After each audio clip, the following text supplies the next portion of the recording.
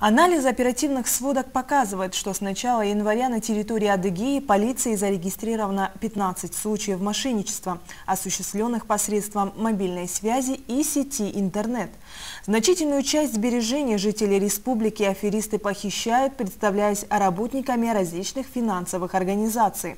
Так, Майкопчанке на мобильный телефон позвонил неизвестный, представившийся сотрудником банка. Злоумышленник сообщил, что от имени потерпевшей поступила заявка заявка на получение кредита. Для того, чтобы избежать потери суммы займа, заявительницы порекомендовали проделать ряд операций, в результате которых 43-летняя женщина лишилась около 110 тысяч рублей. Всего жертвами преступников, практикующих аналогичные схемы, стали 8 жителей Адыгеи в возрасте от 27 до 61 года.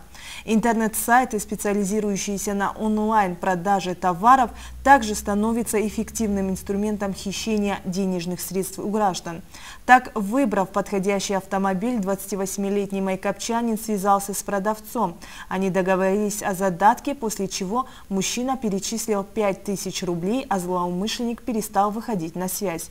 Несколькими днями ранее 42-летний житель республиканского центра потерял при схожих обстоятельствах 34 тысячи рублей. В сумме с начала 2020 года аферисты похитили у жителей Адыгеи более 600 тысяч тысяч рублей.